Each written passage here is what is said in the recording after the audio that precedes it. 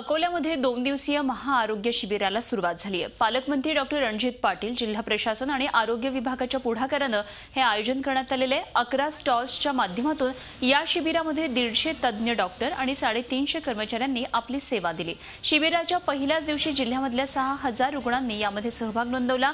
रुग्णांची संख्या लक्षात घेता नागपूर आणि अकोल्यामधल्या खासगी दवाखान्यांची मदतही घेण्यात आली आहे. दोन दिवसामध्ये या शिबिरात जवळपास पंधरा ते वीस हजारांवर रुग्णांवर उपचाराचं नियोजन करण्यात आलंय.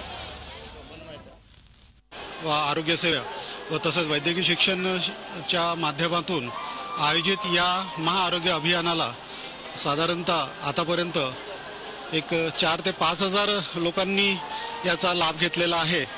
व या आरोग्य अभियानाचा उद्देश असा होता की ग्रामीण भागातील सर्व नागरिकांना तज्ज्ञ डॉक्टरांची सेवा उपलब्ध व्हावी म्हणून हे आरोग्य अभियान राबविण्यात आलेलं आहे.